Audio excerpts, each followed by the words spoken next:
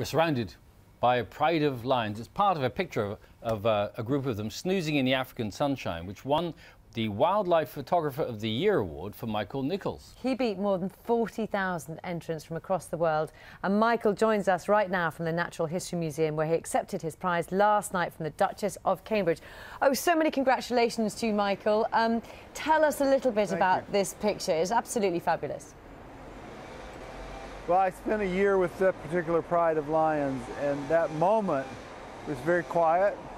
But they had just attacked the male lion that fathered the cubs because they weren't sure if he was going to be okay with those cubs. And the, he's in the background behind me suffering from cuts, and they're kind of celebrating their victory over him. But it, that image is synonymous of the Serengeti. It's, it's very stereotypical of the Serengeti. Yeah, and it, it, does have a sort of an almost sort of biblical feel about it because of the, the, the light above the clouds and those powerful rays of sunshine in the distance.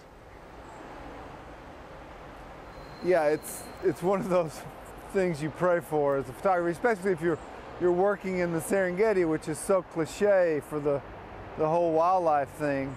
And I follow so many wonderful photographers that have worked there. When I when I made that image, I knew that I had found something that spoke bigger, spoke more than just lions on a rock. I did not want to photograph the lions at night using any light. So we used infrared at night, which I can't see, nor can the lions see. And, I, and that day, I just happened to grab my infrared camera. It was coming close to night. And, I, and infrared will really cut through the, the haze and make the clouds dramatic. But half of my project was shot in infrared and half in color, but specifically because I couldn't afford to let those lions lose one meal because they were so edgy. So whenever we followed them hunting, we did it with you know military technology, night vision and infrared, and just just for the pleasure of seeing them hunt without disturbing them. And Michael, really briefly, we're running out of time a bit. Um, top tips to us who take photographs, not obviously nearly as good as yours. And not of lions. well, I think I, you could say again, but I think what you're saying, you have to concentrate. Photography requires focus, not just focus of the lens, but focusing on your subject.